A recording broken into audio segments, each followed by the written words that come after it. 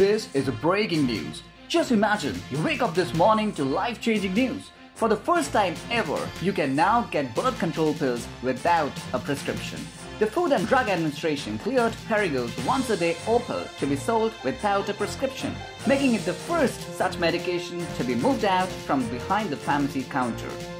This decision is crucial in several aspects. In US, tens of millions of women since 1960s have been resorting to hormone-based pills for birth control.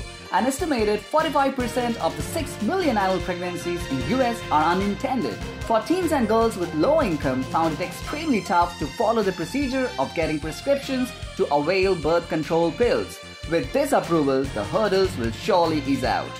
However, making the birth control pills available over the counter was not an easy decision. A lot of discussion and emphasis was laid on whether women with certain underlying medical conditions would understand that they shouldn't take the drug, and moreover, the awareness that over the counter medicines are not covered by insurance.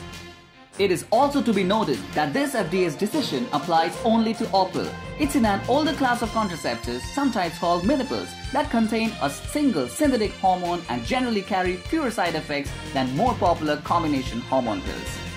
Now, no more scheduling appointments with your doctor or worrying about renewing prescriptions.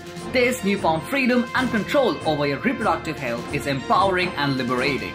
While there are certainly risks and side effects to consider with any medication, this is a huge step forward in providing more options and making healthcare more accessible. Well, we have brought this news to you, but we would love to know what are your views on this.